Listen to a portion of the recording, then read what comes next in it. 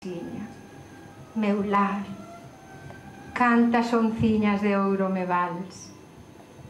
Vin de Santiago a Padrón cun chover que era arrollar, descalciña de peperna, sin comer nin almorzar.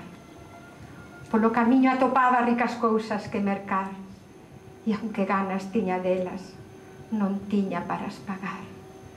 Nos mesóns arrecendían as cousas de bon gustar, Mais o que non ten diñeiro, sin elas ten que pasar. Fun chegando a miña casa toda rendida de andar. Non tiña nela fragulla con que poidera fear. A vista se me barría que era aquel moito a unar. Fun a porta dun veciño que tiña toda fartar. Pedinlle unha pouca broa e non ma quixo emprestar. As bagullas me caían que me fora avergonzar. Volvín a miña casiña alumada do luar. Registrei cada burato para ver de algo atopar. Atopei fariña munda, un puñiño a todo dar. Vino no fondo da artesa, púxeme a Dios a lavar. Quixen encender o lume, non tiña pau que queimar. Funyo a pedir a unha bella, tampouco no quixo dar se non era un toxo verde para me facer rabiar. Volvín triste como a noite, a chorar que te chorar. Collín un feixe de palla do meu leito fun pillar.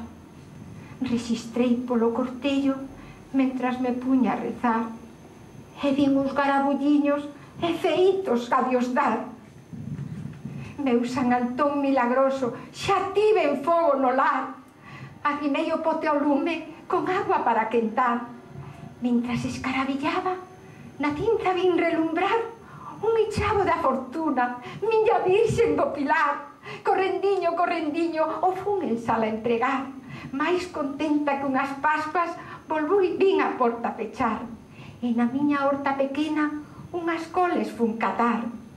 Con un pouco de un tobello que o ben soupen a ahorrar, e ca fariñiña munda xa tiña para cear. Fixen un caldo de gloria que me supo que la mar. Fixen un bolo do pote que era cousa de envidiar. E despois que o tiven comido, volvín de novo a rezar. E despois que houben rezado, puxen a roupa a secar, que non tiña fio enxoito de haber tanto me mollar. Nantras mentras me secaba, Púxeme logo a cantar para que me oíran en todo lugar. Meu lar, meu fogar, cantas onciñas de ouro me vals.